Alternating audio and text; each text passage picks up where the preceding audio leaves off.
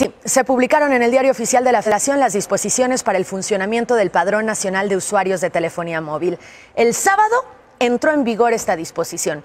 El registro será obligatorio para quien active una línea. Esta es la información que se recabará de los usuarios. Uno, Número telefónico. Dos, Fecha y hora de activación de la tarjeta SIM.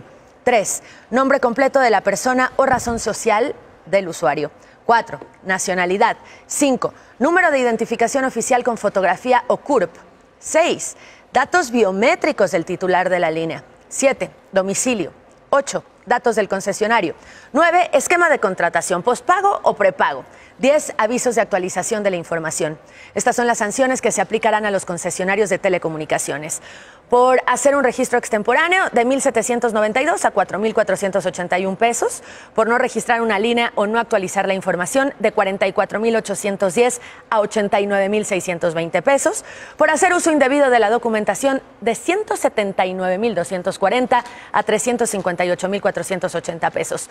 Por alterar u omitir o permitir bien registros de forma ilícita o acceder sin autorización al padrón de 896.200 a 1.344.300 pesos por hacer uso de la información para obtener un lucro indebido de dos a tres veces el monto que se obtuvo.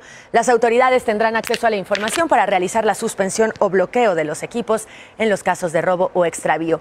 La baja de un número del padrón no implica que se elimine del registro. Este se mantendrá por un plazo de seis meses.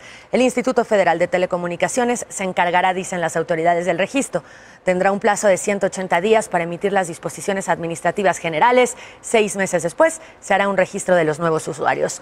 Las líneas telefónicas adquiridas con anterioridad a esta reforma tendrán dos años, es decir, usted y yo, todos quienes tenemos hoy en día una línea telefónica, tendremos dos años para cumplir con las obligaciones.